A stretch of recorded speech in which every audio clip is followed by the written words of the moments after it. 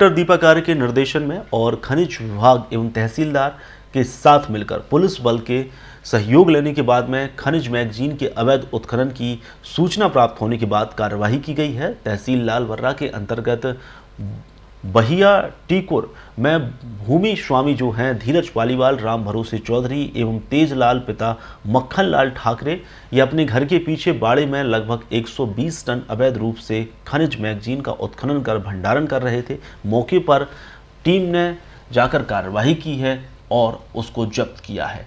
ट्रकों और डम्फरों के माध्यम से यह परिवहन करते थे तो वहीं लालवाला परिसर में अग्रिम कार्रवाई के लिए सारा सामान सुरक्षित रख दिया गया है।